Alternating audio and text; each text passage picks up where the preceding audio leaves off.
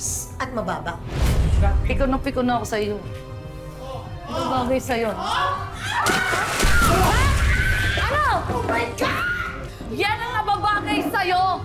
Yung pinagbabaran ng paa mo dahil kasi baw yan ang ugali mo! Oh my God! Dapat hindi na ako pumunta dito! hindi pa tayo tapos bahay ka. Tandaan mo yan! I'll see you in court! Tandaan mo ng dating, hindi pa tayo tapos! Let's go, sabi! Sama kayo. Chip na sa na ta! Tara na! Mais ka! Hindi kayo bagay dito! May pasensya ka na talaga. Wala ako doon para matulungan ka. Magbabayad sila sa lahat ng ginagawa nila. Dati, paano yan? Hindi natin napuro yung pamilya ng babae. Malamang sumabit tayo dito. Calvin! Wala ka nang dinala sa akin kung hindi problema.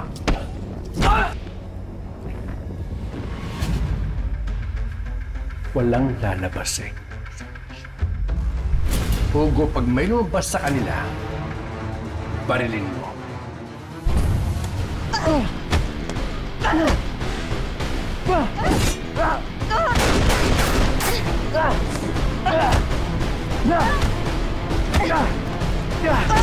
Ano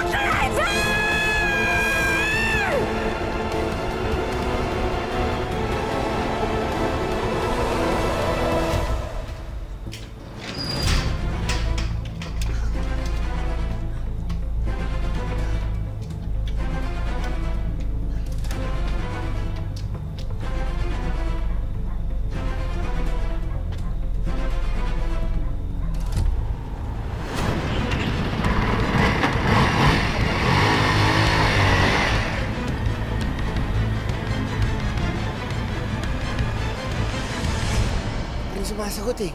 Buti pa puntahan na lang natin. Tara. Mga brother, kanina pa kayo ganyan ha. Parang hindi kayo mapakali ah. Ah, Ay, ay, k- kasi kwan eh, um, sumasakit yung tiyan ko eh. oo. Sakit yan eh. Hanap lang kami CR ha. Oh. Eh dito may CR tsaka may European bidet. Ah, hindi. Japanese bidet yung kailangan niya. Oo. Tara, tara, Ah, tara. okay. Tara, aray, aray, aray, aray. aray. Labo. Ginagawa ang dalawa. Wala, saan pupunta yung mga yun? Andito na yung order nila, oh. CR daw eh. Sayang naman to. Bayad na. Ako na lang po trip niyan. Ah, mga brother. Ako lang ba? Parang may tinatago to si Miguelito tsaka si Oka eh. Hindi lang sila, pati si Elias. Tama ka. Pati si Elias. Palaging wala. Tsaka palaging merong ano, out of town delivery. Hindi kaya napapatrouble silang tatlo? O baka may problema sila na ayaw sabihin sa atin? Siguro mabuti pa sundan natin. Eh baka kung mapano pa yung mga yun eh. Para magkaalaman na rin.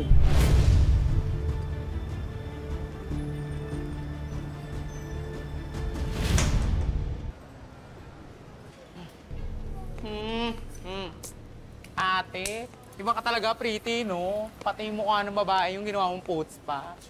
Ba, mukha naman talaga siyang paano. Tsaka yung ugali niya, ugaling kanal.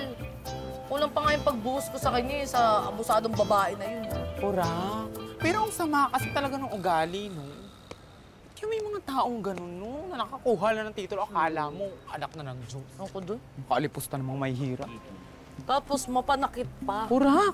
Hindi porket edukada siya at may sinabi sa buhay, pwede na tayong ganun-ganun. Hmm. Aba, matuto siyang lumugar. Akala niya palalampasin ko siya. No way. Pura. Salamat po uli. Kaya lang, baka ikaw naman yung mapahamak. Aling Linda, huwag mo kong isipin, okay lang ako. Promise. Kaya ko yung sarili ko. Alam mo, tama naman yung ginawa mo, Pretty. Kaya lang, nag-aalala lang ako eh. Tsaka may point din si Aling Linda. Teka lang naman, ako yung nasa tama ah. Bakit parang ako pa yung may kasalanan? Eh, because abogado yun, di ba? Kung totoo nga yung sinasabi niya, I'm sure maraming kilalang mga tao, maraming koneksyon, mayayaman yung babaeng yun. Eh kung dalhin niya sa korte yung pananakit mo sa kanya, maghabla yun, eh di yari. Hello, Bebe Moon. Siya kaya yung unang nanakit. Tsaka pinagtanggol ko lang naman yung sarili ko, tsaka yung staff natin, aba. Hindi naman parang umabot pa dun. Alam ko naman yun. Yun nga yung hindi ko mapigilang isipin eh. Alam mo yung kung, kung sino pa yung may pera, sino yung mayaman, nasa kanila yung hustisya at saka yung batas. Eh, kawawa naman tayo mahihirap. Ano, oo nga, no? Pero baka hindi naman. Sana nga hindi. Alam mo, sabihin na natin kay Doc Willie. Hindi. Hindi, hindi ah. Wag, wag, wag na. Dadagdagan pa natin yung stress ng tao. Hindi na, hindi na siguro aabot to sa kasuhan. Pray na lang tayo. Tara na nga.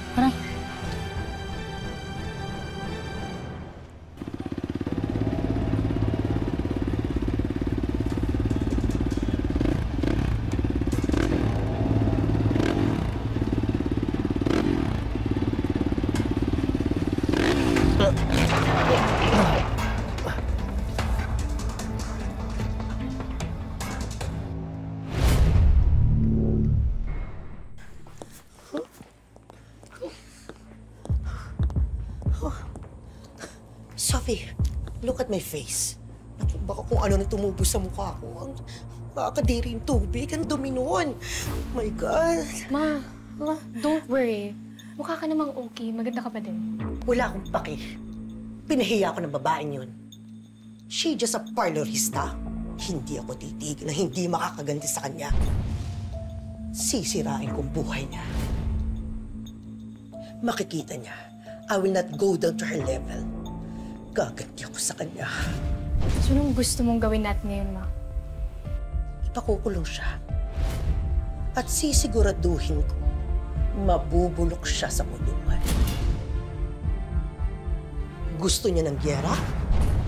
Pwes, ibibigay ko sa kanyang gyera. Sisirain ko buhay niya. Ito tandaan mo, anak. May pinag-aralan tayo. Mali ang binangga nila. Ang mga taong walang pinag-aralan. Babalikan ko yung babaeng yan. Gaganti ako.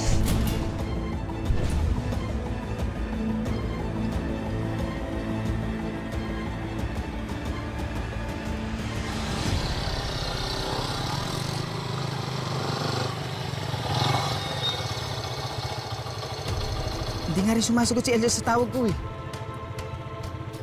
Oo ka, baka na paano na yun? Baka may tama. Dati naman dumidiretso agad sa atin yun eh. Ngayon lang nangyari to. Mabuti pa. Ikutan natin dito. Tara, baka nandito lang si Elias. Tara. Boss! Ano nangyari dito? Ha? Si Black Rider kanina. May mahabol sa kanya isang motor. eh. Binabalik na, di namin alam kung sino yun eh. Doon mo nagpunta? Kumanan, oo. Kumanan. Tapos kumanan? Kumanan. Tara. Salamat po ah. Sige, salamat ah. Tara.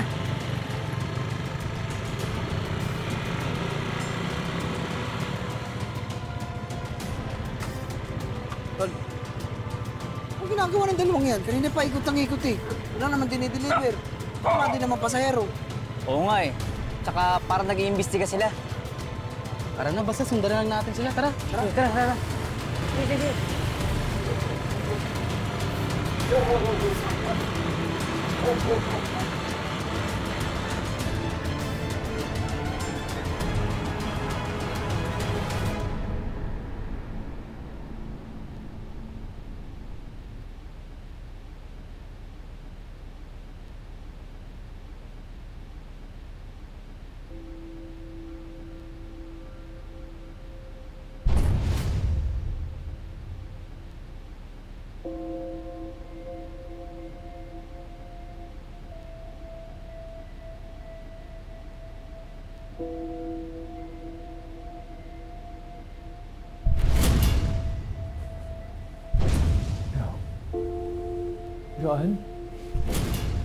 Jo?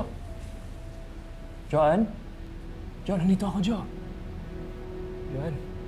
Joan? Joan, narinig mo ba ako? Joan? Doc! Doc! Doc! Nurse! Doc!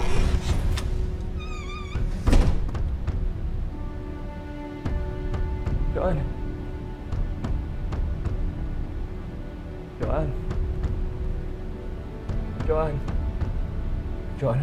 Nandito lang ako para sa'yo, ha? Joan? Joan? Doc! Joan?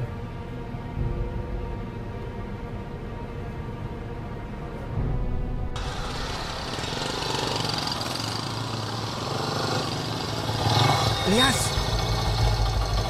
Bukas, Elias! Elias! Yes! Elias! Elias! Sige nito, dali natin sa ospital. Baka kumapano pa siya. Alisin mo, alisin mo.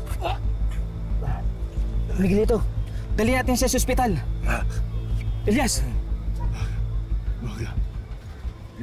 Wala ako na sa ospital. Kailangan, brother! Hanapin ako ng mga polis. Magtatanong sila. Hindi ko pwede mabuko. Hindi ko pwede mahanap ng signato. Miguelito, anong gagawin natin? Elias! Elias! Elias!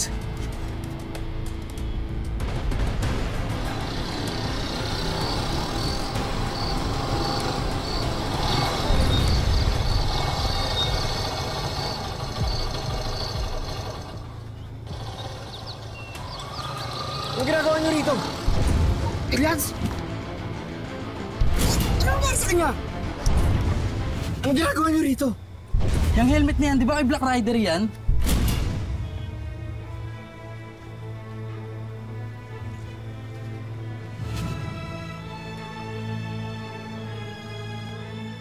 Elias! Ano nangyari sa kanya? Anong ginagawa niyo rito? Yung helmet na yan, di ba kay Black Rider yan?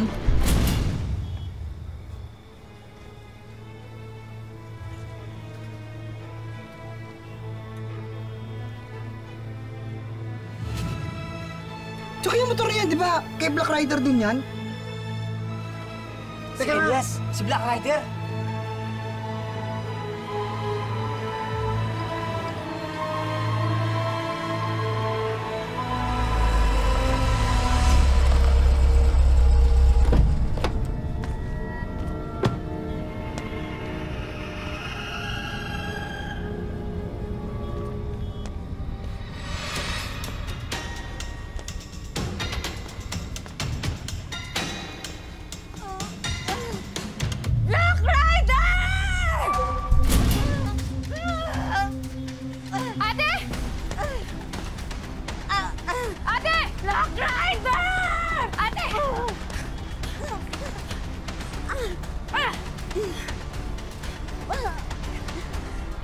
Black Rider? Wala na siya dito, ate. Kailangan na kita iuwi. Marami kang tama. Hindi pa kami tapos! Paano yung anak ko? Ate, tama na. Halika na. Black Rider! Halika na. Tama na. Si Elias. Siya si Black Rider. Pa! Teka, mamaya na ako magpapaliwanag ni Oka. Kailangan ni Elias ang tulong natin ngayon. Kailangan natin siya madala sa doktor. Tama! Tara na, dali na natin siya sa ospital. Hindi natin siya pwedeng dali sa ospital. Malalaman pa ng mga pulis, baka maimbestigahan dun. Delikado ang buhay niya. Walang dapat makaalam na si Elias si Black Rider. Kasi papatayin siya ng sindikato. Anong anong gagawin natin baka matuluyan si Elias?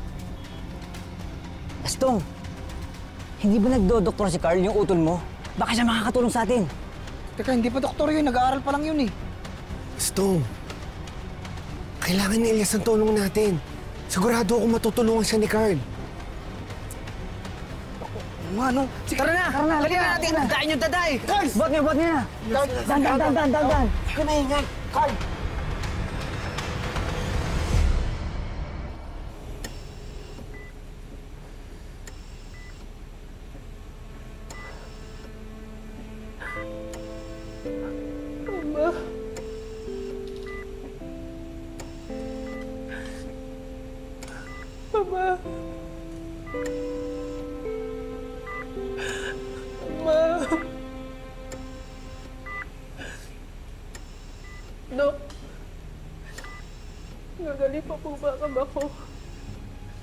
Ginagawa po namin ang lahat para makarecover siya.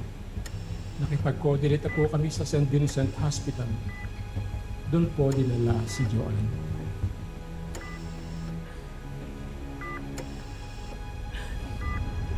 Gusto ko makita yung anak ko, Dok. Gusto ko po siya makita. Ayaw ko po siya mapahamak. Ama. Ama.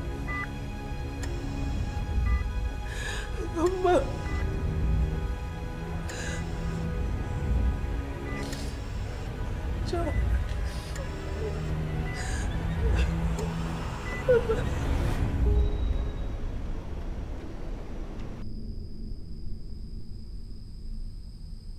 Tol, pakilagay na muna. Dali lang. Eh, teka, teka. Yan, okay na. Kuya, ba't dito mo din si Kuya Elias? Dapat sa ospital na para sigurado.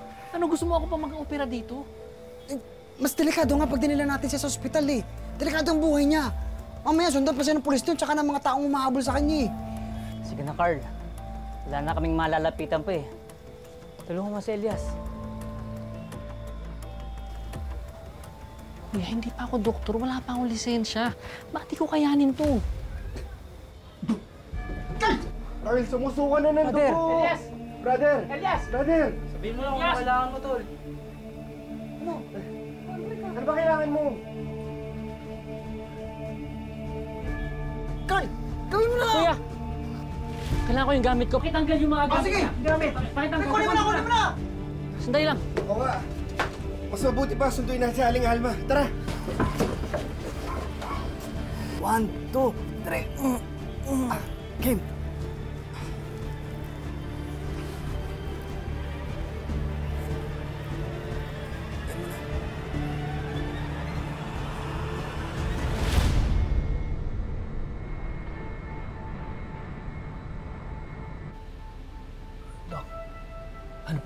Kay Joanne? Siya ay nasa state of shock marahil dahil sa post-traumatic stress disorder.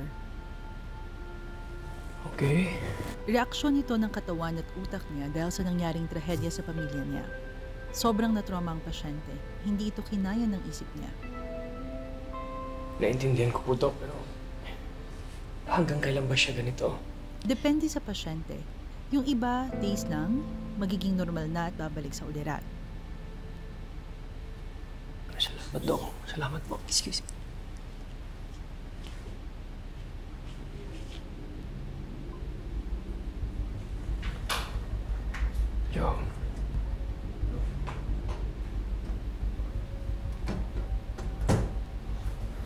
Pare,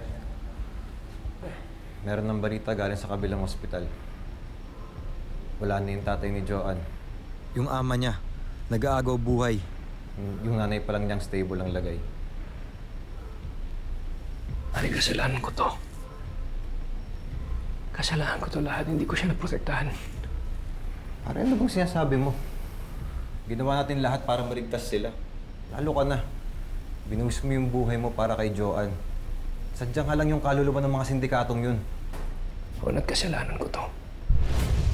Matagal nang pinoprotektahan ng tatay ko ang sindikatong to. Ano? General Policarpio, kasabot ng mga sindikatong hinahabol natin? Tama. Matagal ko na natuklasan to, pero takot lang ako magsalita. Hindi ko akalain na madadamay din si Joanne. Kaya pre, kasalanan ko to.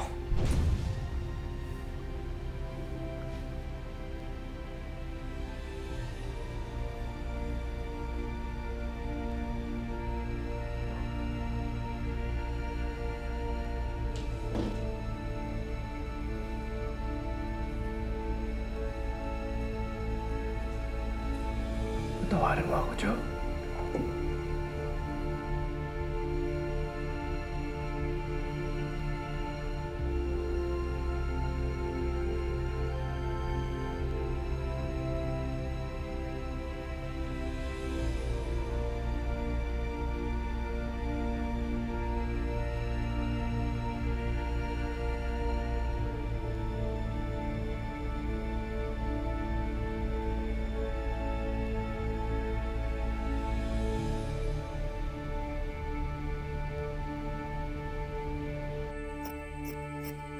Kuya, kailangan ano? tulong mo.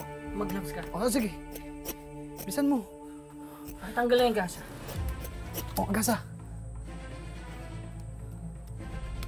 Elias, kabibitaw Elias ha. Ano? Taas na yung lagnat, kuya. Baka na-infection na yung mga sugat niya eh. Anong gagawin natin? Diyos ko! Elias! Elias! Diyos ko, anak! Anak, anong nangyari sa'yo? Diyos ko, paano? Andito na nanay. Anak, lumaban ka, anak, lumaban ka. Andito lang ako. Diyos ko, anak.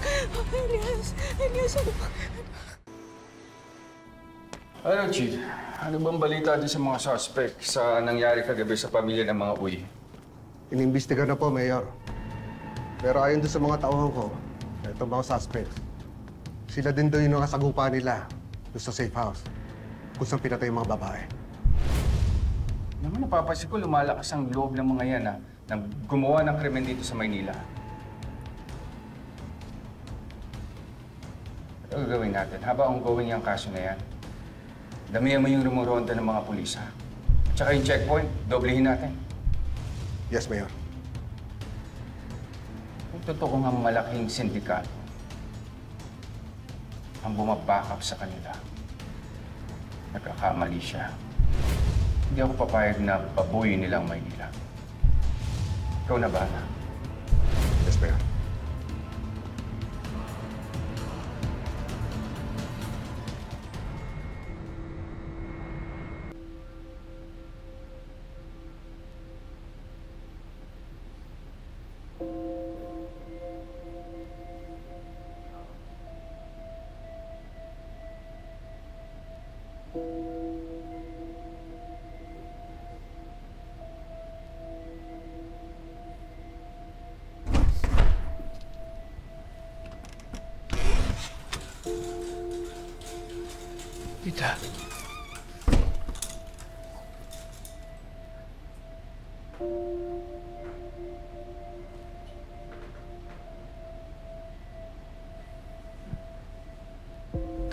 Po siya nung gumising.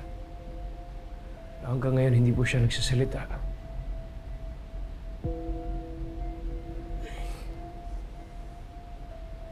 Siya. Anak, andito na si Mama. Joel.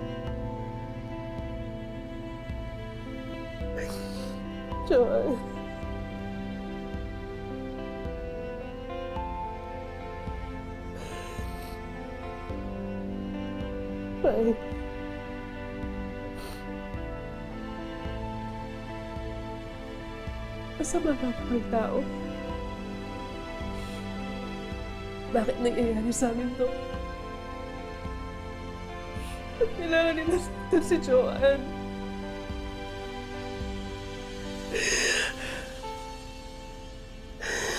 She's a nice baby. She's my baby.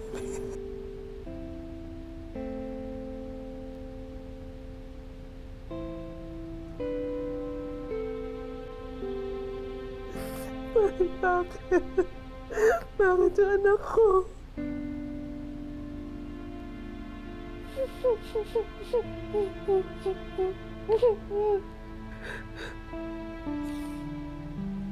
Patay na yung asawa ko. Si Aba, she's in critical condition. Ayoko mawala si Joanne. Ayoko mawala yung anak ko pa eh.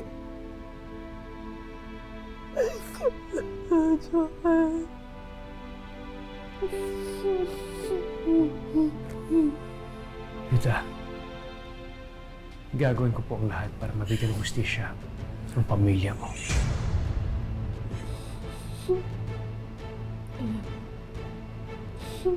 Salamat, Paeng. Kailangan magbayad ang gumawa sa amin ito. Gagawin ko po ang lahat para mabigyan ng hustisya ang pamilya mo.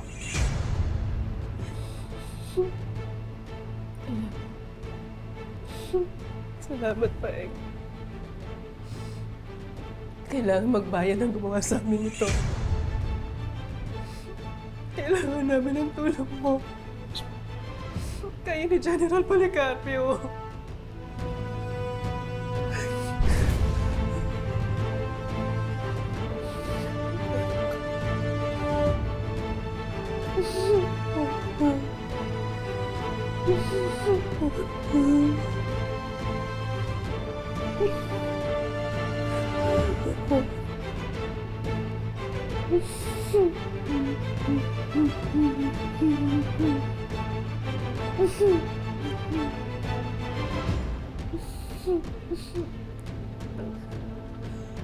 Ilyas! Lumaban ka, anak! Lumaban ka!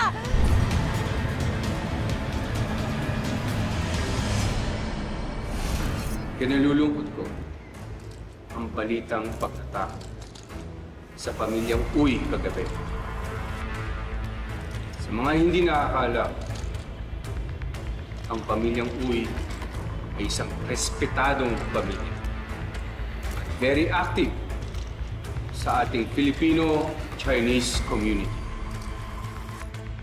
Hindi na naubos ang dinadalang problema sa akin ni Calvin. Hindi ko na alam kung saan ako nagkamali. Tawagin mo si General Policarpio. Sabi mo, linisin niya to bago pa lumaki. Anong plano mo ngayon, pare? Magsasalita na ako. Oras na para malaman nila ang katotohanan. Narinig ko yung nangyari sa'yo dito. Okay ka lang ba? Doon kasi makukulong ho ako eh. Kasi Dok, pinadalan po nila ako ng ganito. Yung babaeng nakaaway ko. Yung binuhusan ko po ng puts pa, eh, pinagtanggol ko lang naman po yung stop natin. Oh, ano yung mahalagang bagay na sasabihin mo sa akin? Chief, noon ko pa dapat sabihin sa inyo. Pero nagdadalawang isip ako.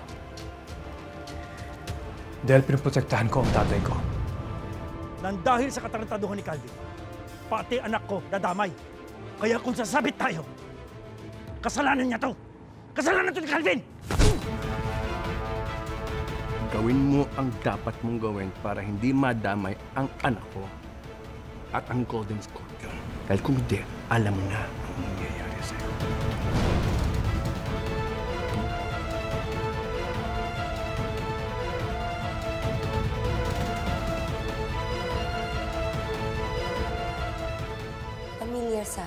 akin ang mukha ng Black